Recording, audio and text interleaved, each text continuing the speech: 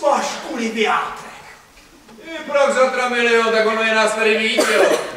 A to mě na mě míříš klackem, nebo máš opravduckou flintu? Pamlíčku, abys věděl, a rovnou dvě. Já jsem ten strašený loupežník Sárka Fárka. Krveříznivý mordýř, co se před ním všecko živí třese. Tak to mi spadl kámen ze srdce. Já už se bál, že budu mít dopletačky s hajným, ale s loupežníkem, no to je přece jenom jiná řeč, ne? Se A vůbec, rozhodce se životem chlape vína, já to s tebou nebudu mít čas do večera. No, však už mě taky bolely ruce. Hele, loupežníku, nemohl já bych se na tebe podívat.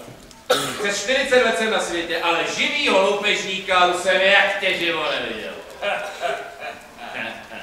Ani si to kamarádíčku nepřeji. Kdo se na mě jenom jedním očkem podívá, hrozný stragov tu ránu pojme a všechny vlasy se mu hrůzou věřit. Kdo na mě oběma očima pohlídne, husí kůže mu naskočí po celým těle. A to smrti smrťoucí veselý nebudu. A na koho já ještě k tomu všemu udělám zlej kukuč. Tak to ráno čista sumbaku. Počkej, loupežníku, jak si to říká? Kdo se na mě jenom jedním bočkem. Ale ne, ne, ne, celý nestačí jenom ten začátek. Hroznej stragov tu ránu pojme. To. Loupežníku, já se na tebe přece jenom podívám. Hele, 20 let jsem nosil vojenský kabát. S všelijakýma nepřátelema jsem bojoval. Ale strach, kamarád, strach jsem jak ty živo nepoznal. Loupežníku, já se na tebe aspoň tím jedním očkem mrknu. Nemá, loupežníku.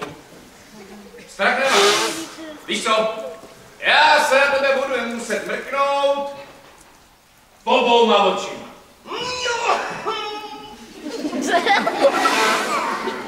Pane, ani když se dívám obouma očima, strach nemám. Loupežníku, teď mi napadá, že ty na mě teď budeš muset udělat ten svůj zlej kukuč.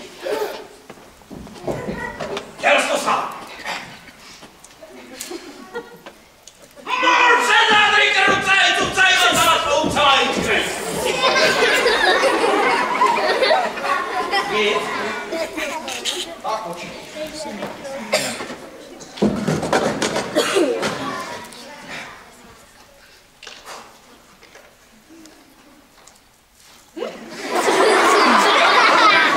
Nemá loupežníku.